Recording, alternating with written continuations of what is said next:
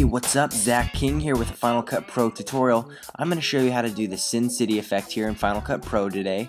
And I've got two photos I'm going to be working with. Uh, I thought it would be appropriate with the World Cup and all to do a soccer photo and then also a photo of a model, but same effect, two different photos. It also works for video. I'm just going to use photos to um, help my rendering time. So let's start over here in the sequence. I'm just going to close all of the tabs and we're going to start over.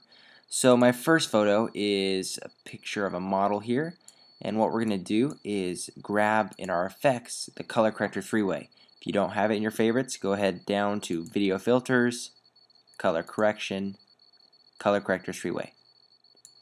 So why don't you throw that filter on there and you're going to see the tab up here and open up the limit effect bar and you're going to see we have a few more tools that we don't have access to up here next to the three color wheels. So go ahead, grab this eyedropper, and we're going to select somewhere that we want isolated, so a color. And for this picture, I'm going to select the blue dress that she's wearing. Select that, you're going to see in the limit effect bar, we've got our blue tab that's opened up. Well, for this effect, you need to uncheck the luma and saturation for this to work. Now lower your saturation, and as we do this, you're seeing what's isolated here. This color is being isolated. So to actually see the effect turn on, hit this invert button here. Bam, blue dress. Simple as that, Sin City effect right there. So you open up this color and play around with that.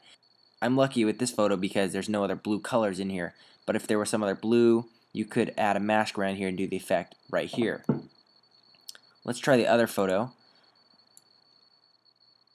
I want to show you something else that you can do with this effect. If you go down to the effects, same thing, color corrector, what you can do, grab color, saturation down, check, check, invert. Okay, so you're seeing it's all sloppy, right? And we open up the effect, and it's orange. Well, you see a lot of stuff in here is kind of hitting the green, the orange. So I'm going to pull it more towards the reds. Okay, a little bit better, but it's also his shirt's very choppy, and if this were a movie, it would look kind of pixelated. Well, we can open up softening, and if you see right when I do that, it kind of blends the pixels together really nicely, and it lowers his colors on the leg here. And so, since this is near the skin tones, it's yellow and orange, I keep pulling it towards the reds. You can do some cool stuff with this too if you um, want to get a little more crazy. If you go to the numeric, we can open up this so we could add a keyframe here. Bam. Pull it in. Keyframes down to the effect. Same with the other picture of the model. So if I render this out, you can see what this looks like. Okay, and cancel that. And we can play it here. And there it fades into the effect like so. So that's a pretty sweet effect you can do.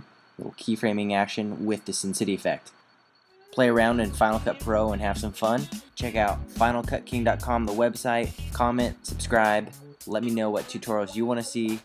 I'll see you next time.